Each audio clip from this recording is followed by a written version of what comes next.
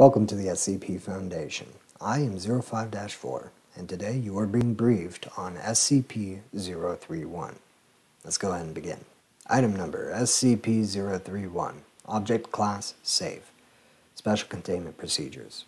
SCP-031 is to be contained in a standard containment chamber located in Site-77's Safe SCP Wing. Uh, humanoid used to be added to that, but it has been removed. Personnel interacting with SCP-031 are not to view it directly and communicate with test subjects through an intercom system installed in each chamber.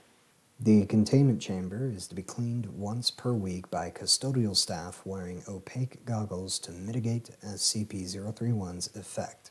Description: SCP-031 is an amorphous organism with a mass of 75 kilograms. SCP-031 is able to move at a pace of 3 kilometers per hour and leaves a trail of oil when it moves. It is only capable of rudimentary physical movement. Testing of recovered tissue samples has shown that SCP-031 is at least partially composed of human muscle and epidermal tissue. SCP-031 is capable of reproducing human speech in any pitch or tone, although it is not currently known how SCP-031's biology produces them.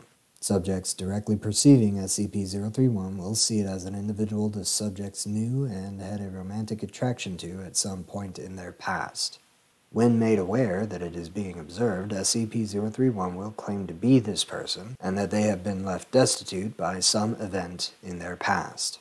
SCP-031 will use this to attempt to persuade the subject to allow it to stay with them for an extended period of time, until it is able to return to a stable situation.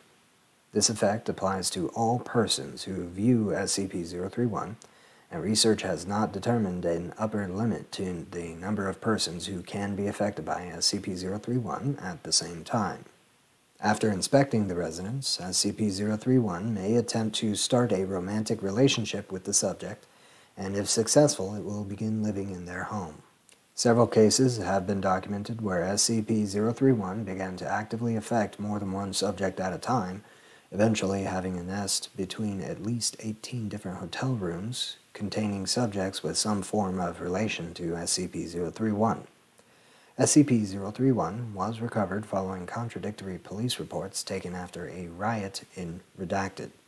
Multiple subjects reported wildly contradictory views about SCP-031's appearance, and initial civilian units were also affected.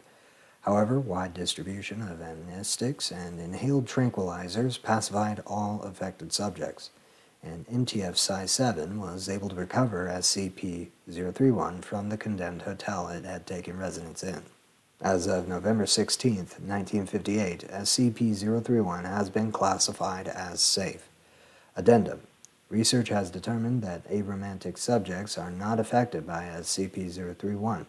However, all of these subjects will report SCP-031 as being a small, plump humanoid figure with specific features being obscured by dark smoke emanating around the entity in the shape of SCP-031's body.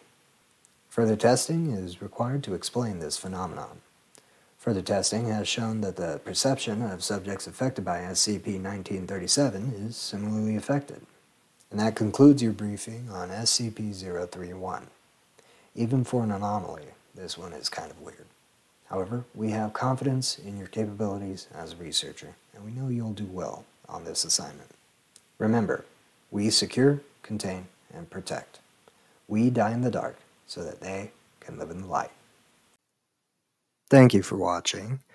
If you enjoyed this video, please give it a like, uh, subscribe, and ring the bell if you'd like to see more.